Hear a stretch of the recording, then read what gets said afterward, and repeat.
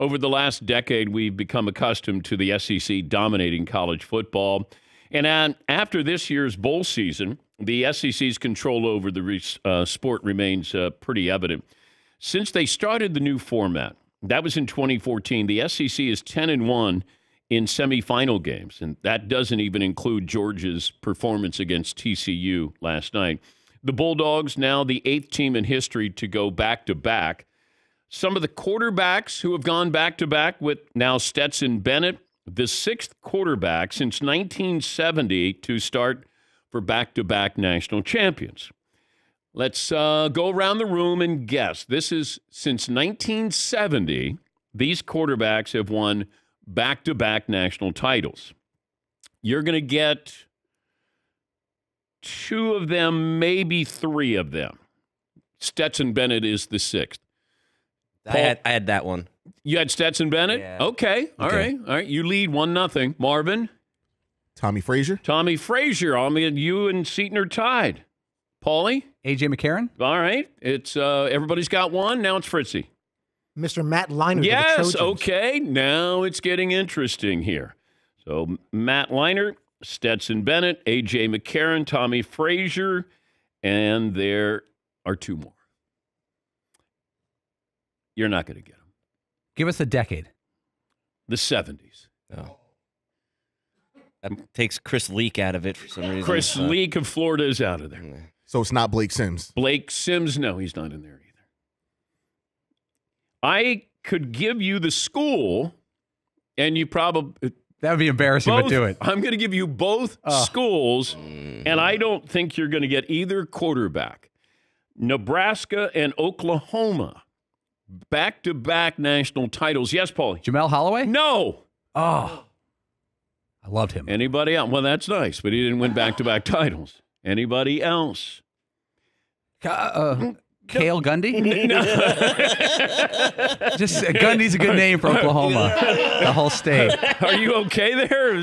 Got a Gandhi. I'm trying to. I'm fishing. I'm fishing for anything. Okay. Um, neither did much in the NFL. One of the players might have played uh, for Green Bay. Oh, that's embarrassing. Yes, it is.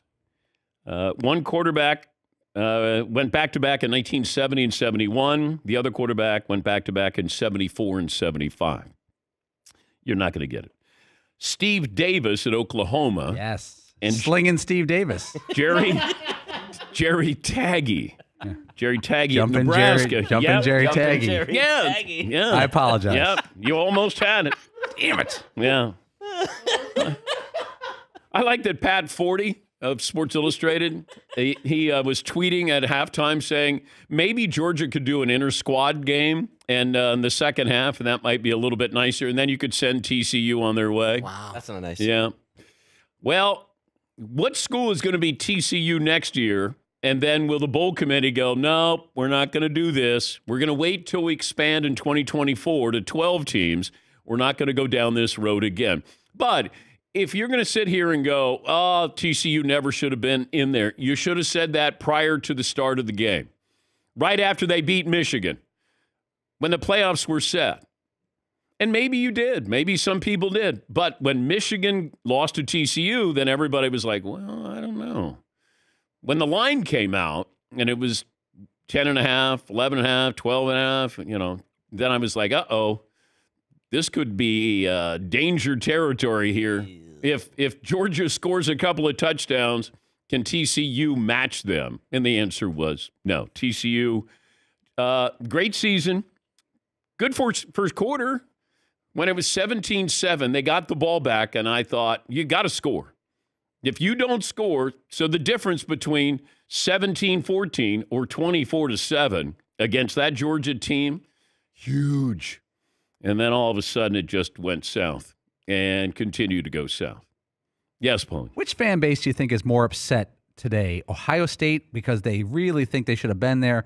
Couple injuries, a couple calls late. They Ohio State had a really nice first Ohio State was better than Georgia that day, and Kirby Smart even acknowledged that. or Alabama fans who are six points away from being undefeated going into the college football playoffs.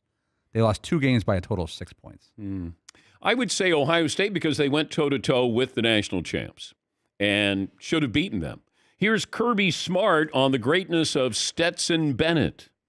And I'm going to tell you another important day was about three days from right now last year when he came in my office and he said, I'm trying to decide if I'm going to come back or ride off in the wind. He goes, I don't understand. Everybody's telling me that I should just ride off in the sunset and be the legendary quarterback that won a national title. And he said, That's just not who I am. Okay. I remember when he announced that he was coming back, and it didn't feel like everybody was all in on Stetson Bennett coming back. You know, he wasn't a big recruit, a walk on, and what he's done, I mean, he, he's firmly cemented himself as one of the great college quarterbacks of all time. He is Georgia's Tebow. He is. Now, you don't look at his stats. People, you know, we got caught up in stats, and, and I understand that because, you know, the proliferation of throwing the football and how many touchdown passes, you know, compared to interceptions. But everybody's throwing, completing 68% of their passes. And, you know, everybody's got uh, unbelievable touchdown numbers there. It didn't used to be that way. But you're watching Stetson Bennett do what you want a college quarterback to do. Seemed unflappable. He made the big play when you needed a big play. And I know that we love to go, well, is he going to be any good in the NFL? I don't know. I just love what I saw. The last two years, he did everything that you want a great college quarterback to do. I don't know if he's going to be a good pro quarterback. There was a feeling when I was watching him last night, and I was texting back and forth with an NFL scout. I said, he's got a little Drew, Drew Brees in him. Like he's very confident and, and maybe more confident than he should be, but that's part of the, the charm of what he does. You know, he, you look at the talent around him, but also to utilize the talent around him. And I also think that Kirby Smart did a great job in sort of opening his eyes to the offensive side of the ball the last couple of years because he's a you know defensive minded guy. That offense that was explosive. Uh, certainly with the uh, receivers, the tight ends, and Stetson Bennett had an unbelievable game. And you you know keep in mind they go back to back. They had 15 players go to the NFL off last year's team. 15. Another 15 this year. yes. Then you go undefeated. Now you're going to have players going to the NFL as well. But I like David Pollack of the mothership sitting on the set with uh, Nick Saban and going, "Hey, Georgia, Georgia's the dominant team. They're they're they're the this is where college football is." And he's right. Can't argue with that. And Nick Saban couldn't argue because it's true. Yeah, Paul. Why do you think Nick Saban every year that he's not in the national title game shows up and sits in for the entire college game day pregame show every year? What do you think his purpose or thought process is for doing that? I think it's just a reminder. If I'm not in the game, I'm at the game and I'm still the face of college football. Just felt like ah, I'm going to show up. Got my Aflac suit on and I'm going to sit there. You know, Deion's there. And I, I don't know. It makes him, I think, feel more relevant, uh, younger, hipper. Uh, if if you're recruiting, uh, so I don't know, unless he just enjoys it, and I think he's really good at it. You know, he's got a, a, a dry sense of humor, but I think he's really good at it. Yes, he. It's like David Pollack saying Georgia the last couple years have really grabbed a hold of college football is kind of a useless statement. It's like, yeah, of course, they just won the national championship back to back. Of course, they've grabbed hold of college football the last two years. Yep. What makes it a story is Nick Saban sitting right next to him. you can't say that in front of the goat. yeah, what's you, wrong with you, yes, dude? you can. You know what I mean? But no, my point is like that's why Nick Saban's there because I'm the man. I don't care that I'm not in that game. I'm still the guy. Uh, I'm still the guy. In case you're wondering, and I know you are, DraftKings odds to win the national title next season. I'm going to guess Georgia. Yes, you would be correct. Bennett's, who is second? DraftKings odds win the national title. Todd. Buckeyes. Third. Marvin. USC. Fifth. It must be Alabama. Yes, Alabama. it's Alabama. yeah. It's Georgia, Alabama, Ohio State, Michigan, because Jim Harbaugh is going to be enthusiastically coaching them. Uh, then it's USC, Clemson, and LSU. Where's TCU? Oops. Oh. Yeah.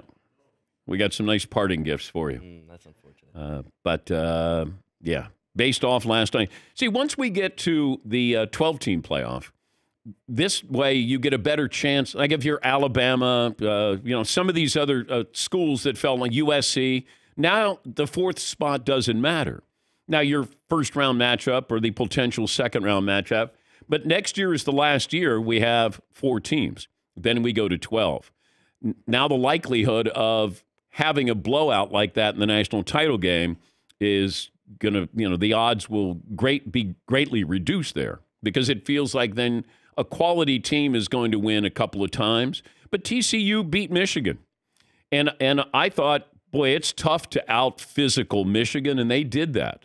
But last night you saw a big difference there between what is physical to Georgia and what's physical to TCU. It almost felt like TCU was finesse and Georgia was just physical. Yeah, Paul. And I think next year, like you said, that four spot, it's like if Tulane ran the table next year. Tulane's schedule, I'm sure, isn't the toughest schedule on earth. They had a great year. They they put themselves on the map, Tulane football this year. Mm-hmm. But if they go 12 and 0 in the regular season and they're sitting there and there's a one loss Ohio State team sitting there, people are going to refer back to the national title game. And it won't be fair to Tulane because they're a separate separate team. Notre Dame is still paying the price for getting blown out national title game against Alabama. How many years ago was that? Like, doesn't that feel like that was uh, 2012? Yeah, almost a decade. Yeah, a decade ago, and it still feels like. And I think this is part of the reason why Brian Kelly left Notre Dame is he knew there's only so far I can get. LSU, I can get a whole lot more talent than I can at Notre Dame, and I I do believe that played a part. I think I think Jim Harbaugh is looking at Michigan and going, I got you here. I don't know if I can get there. I don't know if we're going to be better than Georgia or Alabama or even LSU as far as talent goes. And maybe that's why he is looking at the NFL.